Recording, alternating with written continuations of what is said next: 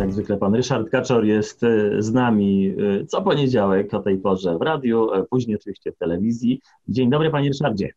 Dzień dobry panie Piotrze, słuchaczom i telewidzom. Temat na dziś, jak zaplanować ten rok, żeby zaoszczędzić na podatkach i zbudować zabezpieczenie finansowe dla siebie i swojej rodziny. No sporo się po tym kryje. Wie pan co, jest to doskonałe pytanie. Coraz bardziej się uczę, że im bardziej planujemy i skupiamy się na tym, co chcemy, tym większa szansa jest osiągnięcia tego. Zrobiono badania naukowe, że jeżeli się coś zapisze, to jest o wiele większy procent, że, że się osiągnie to, co się zapisuje. To nie znaczy, że coś się tylko napisze na kartce i się nic nie robi, ale w momencie, w którym coś zapiszemy i decydujemy się, co chcemy zrobić, to jakoś zaczynamy pracować nad rozwiązaniami. Dlatego jak w tej chwili robimy budżet domowy czy finansowy i jeżeli zdecydujemy, że chcemy na przykład że po pierwsze musimy, że musi sprawdzić, czy nam się to dodaje, żeby nam, nam starczyło na bieżąco. I jak nam starczy na bieżąco, to wtedy możemy planować tak samo, wziąć pod uwagę mm, oczywiście wakacje i inne rzeczy, co są też ważne dla zdrowia psychicznego i fizycznego, ale tak samo odłożenie na, planu, na plany emerytalne, które jednak ludzie czasami sobie nie zdają sprawy, jakie będą mieli, mieli potrzeby i wiele razy spotykam się e, z osobami, które już są po 60 i, i wtedy dopiero zaczynają składać te pieniądze, bo sobie zdają tego sprawę. Także im wcześniej oczywiście zaczniemy, tym wcześniej więcej będziemy mieli, bo i wtedy będzie łatwiej nam żyć. Bo Social Security nigdy nie było stworzone tylko jako jedyne źródło do utrzymania. Także plany emerytalne, planowanie finansowe, w sensie zabezpieczenie siebie i zbalansowanie budżetu i oszczędzanie na przyszłość. Jest to tak zdroworozsądkowe. To nasze matki Polski, matki Polki czy nasze rodziny, to rodzice wkładali do słoika pieniądze, żeby zapłacić za rent na koniec miesiąca i oszczędzali, żeby mieć na później. Panie Ryszardzie, no tak, ale to tu możemy się zastanowić nad taką sprawą, no bo ktoś powie, no tak, tak, oszczędzać, oszczędzać, tak żeby mieć na, na te e, późne lata, ale jednocześnie, no dobrze jest też pokorzystać trochę z życia, żeby później człowiek sobie w brodę nie pluł, że jednak z czegoś nie skorzystał. Gdzie znaleźć ten złoty środek? No właśnie, jakieś wakacje, gdzieś jednak jakieś uprzyjemnienie sobie tego, że nie tylko harujemy, harujemy i, i odkładamy, ale jednak gdzieś robimy sobie te przerwy i odpoczywamy. E, jak to wszystko, jak do tego podejść, żeby właśnie był ten złoty środek? Wie pan co, panie pierwsze, dla pana będzie inny złoty środek niż dla mnie. No na pewno, na pewno. Jak to mówią, punkt widzenia zależy od punktu siedzenia. Jest to bardzo osobiste, ale trzeba pamiętać i, i o, o, życiu. I jest taka metoda. Metoda jest taka, że żeby zadbać o, mieć zawsze odłożyć 10% na przyszłość, i mieć w budżecie także na, na dzisiaj, bo na dłuższą metę nie można cały czas myśleć o przyszłości, a, a dzisiaj jest suchy chleb, bo to się nie dodaje. Także jest, nie odpowiem na to pytanie, przepraszam, ale jest to, jest to bardzo osobiste i musimy, ale musimy wziąć pod uwagę, że, że jeżeli nie zadbamy o nasze potrzeby w przyszłości, to możemy, możemy mieć schody. Nie musimy, potrzebujemy to wziąć pod uwagę. Nie, nie lubię, jak ktoś mówi musimy. Także i jeżeli zamiast pojechać na Florydę, pojedziemy do Wisconsin, czy pojedziemy do lasu pod namiot, czy nawet my co najmniej nie trzeba mieć dużo pieniędzy, żeby, żeby zacząć się relaksować, nawet iść na podwórko i, i, czy do ogródka i się położyć na kocu i się wyłączyć od, najprostszej, od najprostszego relakcji. Także tak samo jak nie musimy jeździć Mercedesem, a możemy jechać jakimś rozsądnym, solidnym autem. No a propos tego dużo pieniędzy, jest coś takiego jak zabezpieczenie naszej stabilności, płynności finansowej. E, czy to prawda, że to zabezpieczenie to już kwota odpowiadająca trzem miesiącom naszych wspólnych kosztów rodzinnych, to wystarczy? Wie pan co, to jest totalne minimum. Generalnie to mówimy o co najmniej o 6, a, a teraz po pandemii to nawet niektórzy mówią mi do 10 miesięcy, także 6 miesięcy to jest taki zaskórniak, bez którego to w ogóle nie ma, nie ma dyskusji na temat budżetu i dopiero wtedy możemy zacząć myśleć o oszczędzaniu na, na przyszłość. I, I oczywiście im więcej, y, tym lepiej. I Pan może stać, a ile powinniśmy mieć y, tej oszczędności?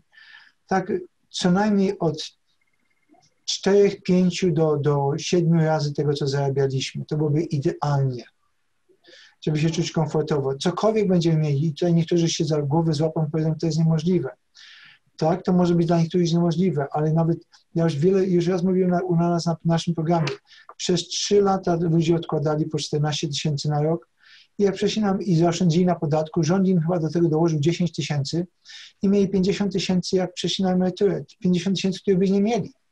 Także nawet jak ktoś zaczyna, zaczyna odkładać mając 60 lat, to w dalszym ciągu oszczędza na podatkach i buduje tą przyszłość. Cokolwiek zrobi, to zawsze będzie kasa, a to jest ważne. E, czy to jest tak, że to też nie tylko w życiu prywatnym, ale także firmowym e, te trzy miesiące to jest właśnie to, to minimum, które w firmie wystarczy, czy w firmach to już jest nieco inna, e, no inny rodzaj planowania budżetu?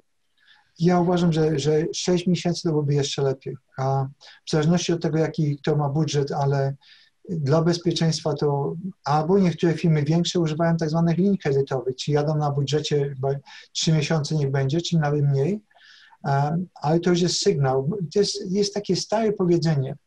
Nie wiem, czy pan pamięta, podejrzewam, że nie, ale jak się szło do sąsiadki pożyczyć 100 zł, y, bo brakowało kasy, to się coś tak z tego wstydził, czy nas już nie chciało się iść do kolegi, żeby pożyczyć, to kurczę, człowiek się 10 razy zastanawiał, jak to zrobić, żeby tego nie zrobić. A w tej chwili bierzemy karty, ja jestem sam temu winien. Biorę kartę, płacę tysiące dolarów i, i czasami spłacę, a czasami nie spłacę, czasami muszę wyłapać to. A, ale to są właśnie te, te emocjonalne, że w momencie, w którym pożyczamy pieniądze, zaczynamy, jest to sygnał, że nasz budżet jest rozłożony, czy może być rozłożony. To samo jest w biznesie. Jeżeli nam coś brakuje, a na miesiąc jest ok, na kilka miesięcy już jest sygnał. Jeszcze dłużej jest większy sygnał. Także to są właśnie te sygnały, że ta, co z tego, że może bank nam pożyczyć 5, 10 czy 50 tysięcy otworzyć credit line, ale jeżeli my nie dodajemy się, to skąd my sobie spłacimy? To jeszcze bardziej w dziurę wchodzimy. No i potem są y, bankructwa odpukać, czy inne schody, których człowiek nie chciałby robić, czy, czy karty, czy sądy odpukać. Plany emerytalne, w jaki sposób one pomagają nam zabezpieczyć się na przyszłość? To dobra droga? No to, dokładnie. Rzecz polega na tym, że tak naprawdę to, y, czy łatwo odłożyć na plan jest to decyzja, która jest bardzo ważna. Jest tak samo ważna jak decyzja kupienia dzisiaj chleba. Może nie tak ważna, ale jest, jest obok tego. A, I w momencie, w którym otwieramy, to naprawdę rząd nam pomaga od 15 do 25%. Jeżeli odłożymy 1000 dolarów to rząd nam dokłada 150, może nam dołożyć 150 do 250, czyli musimy wyjąć z kieszeni 750, żeby mieć na koncie 1000. To jest pierwszy krok, potem to rośnie. Już inna sprawa, w co zainwestować, to nie jest na dzisiejszy program, bo jest duże ryzyko w stock market, może annuities tylko jednym zdaniu, czy jakieś real estate, ale to już inna sprawa. Ale generalnie potrzebujemy to oszczędzać, potrzebujemy my pamiętać o przyszłości i na teraz i na przyszłość, dla siebie i dla naszej rodziny. I wiele razy rozmawiałem z klientami i tak troszeczkę uszczypliwie mówiłem, czy pan, czy pan, czy pani chce, żeby się was dzieci utrzymywały? Także jeżeli nie, a powiedział oczywiście nie, z wyjątkiem jednej klientki, która mówiła, że bo była w domu, mówi dzieci, ja poświęcę dla was wszystko, ale będziecie miał potem utrzymywać. To ona była wyjątkiem. Ale tak to ja nie myślę, że ktokolwiek chciał, żeby dzieci utrzymywały. Nadal się wrócili do Polski. No to jeszcze jedna sprawa. Jeśli chodzi o płynność finansową firmy, w co inwestować, żeby firma była zabezpieczona? Wie pan co, na krótki termin to trzeba mieć pieniądze w banku. Na dłuższy, może tak samo jak i w innych rzeczach, to e, nie jestem pewien, czy włożył stock market. Może byłoby w złoto. E, tak sobie myślę.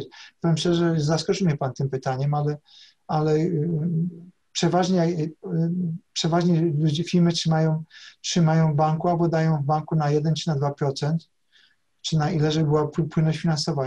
To trzeba być poważną, większą firmą, żeby coś kupić i zainwestować. Generalnie trzyma się pieniądze w kasie, y, w banku.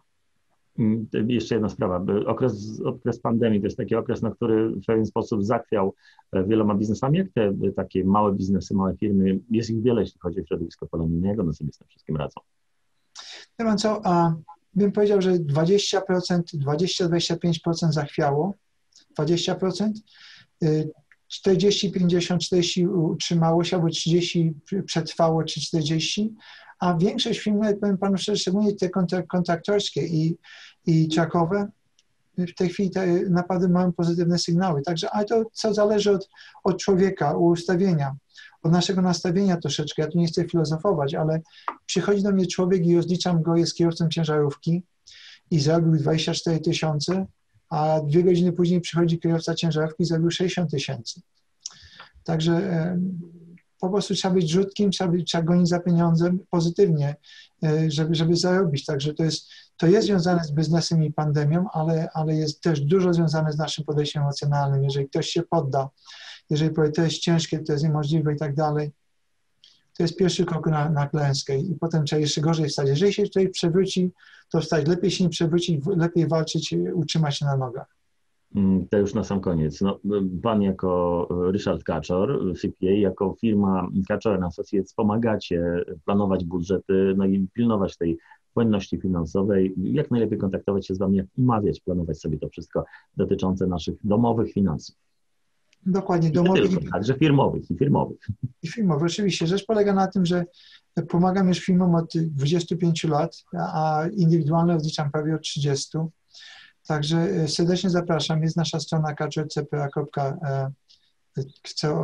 ale generalnie 847 584 1040. Można nas wystukać na Google i, i, i zapraszamy. Także i, i, w tej chwili jest jakiś tydzień do przodu, jeżeli chodzi o appointmenty. No to wszystko istotne informacje. Ryszard Kaczor, jak co poniedziałek na naszej antenie, panie Ryszardzie. Dziękuję za dzisiaj. Wszystkiego dobrego i do usłyszenia. Niech się darzy. Zdrówko. I płynności finansowej w domu i w firmie. To sobie życzymy niezależnie od święta. Na razie.